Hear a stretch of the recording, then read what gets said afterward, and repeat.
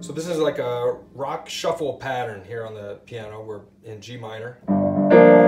Looks like B flat over G. Okay.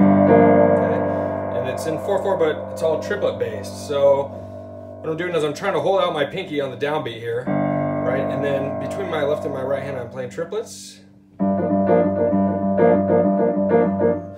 One, two, three, four. One, two, three, four. Right? And I'm trying to use the accent to kind of create the pattern. It's like a strong shuffle feel. So it's so it comes across as do do ga ga do do da da do do da da, right?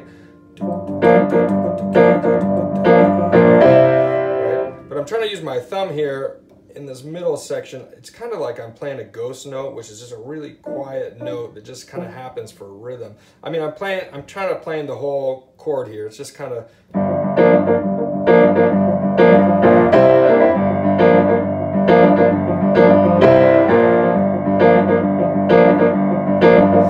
but see, between my hands I'm doing a triplet, and if you look down here on the left hand, it's playing triplets, quarter note triplets.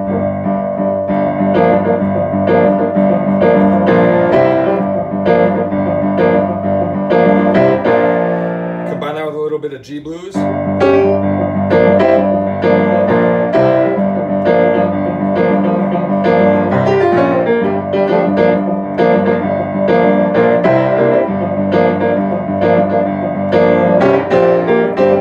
you can come up with all sorts of different